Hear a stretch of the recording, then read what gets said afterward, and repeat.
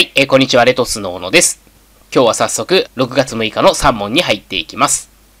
校区には所有権及び抵当権に関する事項が、おつくにはそれ以外の権利に関する事項がそれぞれ記録される。丸か×かという問題です。考えたい方は動画一旦ストップしていただいて、こちらの動画の下の概要欄から問題文ご確認ください。で、これ答えは×ですね。えそもそも登記記録、え当本とか、え登記事項証明書ですね、には、表題部と権利部に分かれています。表題部と権利部に分かれています。で、表題部っていうのは、不動産の所在地とか地目、地籍などの物理的な状況が記載されている部分です。一方、権利部は、所有権や抵当権などの権利の内容が記載された部分なんですね。そして、権利部っていうのは、校区とおつくに分かれています。で、校区には所有権に関する事項、つまり所有権移転登記とか差し押さえなどが記載されていて、おつくには所有権以外に関する事項、つまり抵当権などが記載されています。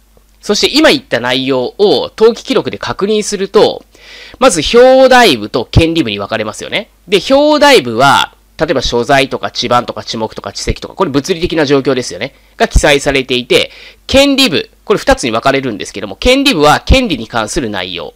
え所有権とか抵当権とかですね。で、権利部も二つに分かれて、校区とおつくに分かれると。で、校区は所有権に関する内容。所有権の、これ、合併による所有権の登記、ちょっと珍しいですけども、まあ、所有権の登記ですよね。あと、これ、所有権の移転登記ですよね。つまり、これ、所有権の登記に関する内容です。で、こっちが抵当権。いわゆる所有権以外の内容なんですね。おつくには所有権以外の内容。まあ、ここにもね、細かくちょっと見づらいかもしれないんですけども書いてあります。所有権以外の権利に関する事項。これがおつくなんですよ。で、これを前提に問題文を見ると、校区には所有権及び抵当権に関する事項が記載されているって書いてあるので、これが誤りなんですよね。校区には所有権の記載ありますけれども、抵当権っていうのは校区にあるんじゃなくて、おつくにあるんですよね。よって誤りとなります。で、問い2ですね。宅建業者は、その業務に従事するものであっても、一時的に事務の補助のために雇用した者については、従業者名簿に記載する必要がない丸か×かという問題です。答えは×ですね。まず、宅建業者名簿ってどんなものかっていうと、宅建業に従事する者の氏名等が記載された名簿です。まあ、その名の通り従業者の名簿なんですね。まあ、誰が働いているかって話です。で、宅建業に従事するものであったら、一時的に雇用したもの、つまりパートとかですね、アルバイトの方とか、まあ、そういった方であっても記載しないといけませんので、まあ、答えは×になるということです。では問い3です。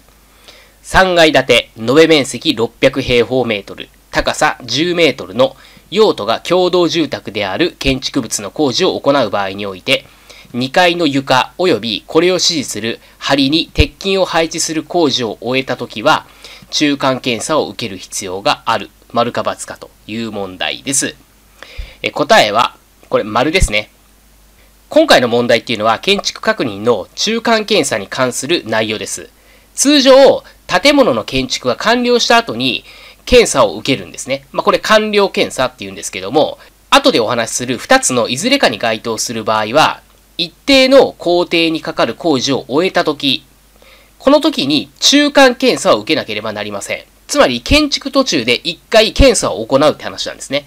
建物を建て終わった後にもちろん検査もするんですけども、工事中でも一回中間で検査しますよっていうのが、まあ、中間検査なんですよ。で、この中間検査っていうのは全ての建物について行うわけじゃないんですね。え夏季工事をする場合にのみ、え工事期間中に中間検査が必要になってきます。で、中間検査が必要な場合っていうのは、3階建て以上の共同住宅、まあ、つまりまあアパートとかですね。これの床及び梁に鉄筋を配置する一定の工事をする場合、この工事を終えた後に中間検査をします。で、また、えー特定の行政庁が必要と認めた工事、これをする場合も、この工事を終えた後に中間検査を受ける必要があります。で、今回の問題で言うと、この1番ですね。この1番に該当するので中間検査が必要だということになります。今日も最後まで動画をご覧いただきましてありがとうございました。試験まで残り4ヶ月半ぐらいですね。諦めずに頑張っていきましょう。レトスの小野でした。